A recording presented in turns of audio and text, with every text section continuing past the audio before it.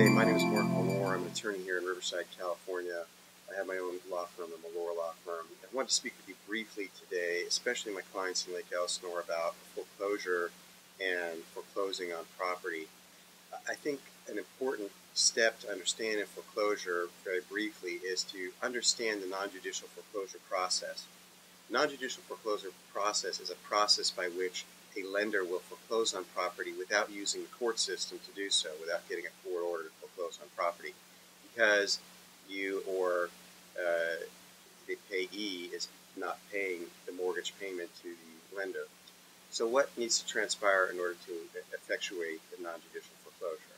Well, the first thing after uh, two or three uh, missed payments is that we need to record what's called a uh, notice of default notice of default's recorded, and that starts the time frame, which technically, uh, definitionally, starts the foreclosure process. Until the notice of default is recorded with the county recorder's office where the property is located, the property is not in foreclosure. Once it records, the property is now technically in foreclosure, and a 90-day period begins to run. Following that 90 days, the second thing that needs to be recorded is what's called a notice of sale notice of sale is recorded, and then a 20-day time period runs before the house may be sold on the courthouse steps. And according to California law, the payee or the borrower has until five days prior to sale to make up all the payments and pay that to take the foreclosure off the market.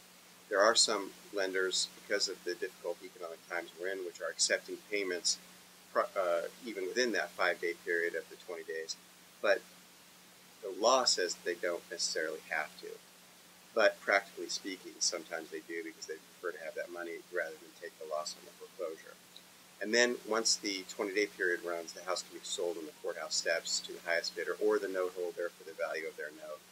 And that's typically the non judicial foreclosure process that we see occurring uh, with our clients in Lake Elsinore or for our clients that need to foreclose on property that they own there.